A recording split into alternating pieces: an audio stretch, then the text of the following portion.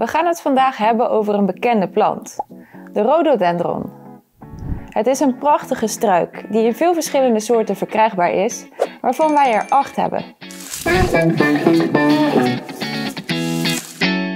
De rhododendron is een eeuwenoude plant.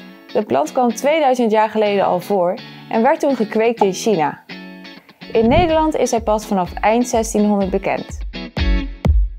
Wat zo fijn is aan de rhododendron is dat hij groen blijvend is, waardoor je er het hele jaar door van kan genieten.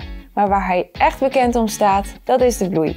Elke soort heeft zijn eigen kleur. Zo is bijvoorbeeld de Nova Zembla prachtig rood en de Cunningham's White geweldig wit. Je hebt ze dus in allerlei soorten kleuren. Na de bloei zal hij knopvorming krijgen, wat trouwens ook in de winter zichtbaar is. De knoppen zijn groen en puntvormig. En hier zullen in het voorjaar weer nieuwe bloemen uitkomen. De rhododendron is goed winterhard en kan hierdoor ook in de volle grond aangeplant worden. Zorg er wel voor dat de grond zuurminnend en luchtig is. Op bijvoorbeeld kleigrond zal deze plant niet kunnen groeien, omdat deze grond te kalkrijk en ook te kleverig is. Je zou je rhododendron ook in een pot of kuip kunnen aanplanten. Zorg er dan wel voor dat de pot groot genoeg is en opgevuld met zuurminnende grond. Denk hierbij aan Pokon aanplantgrond voor rhododendrons.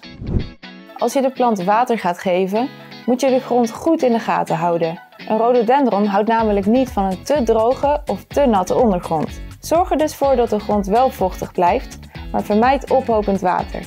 Dit kan er namelijk voor zorgen dat de wortels te lang nat staan, wat weer zorgt voor wortels die gaan rotten. Een rhododendron hoef je eigenlijk niet te snoeien, maar het kan wel.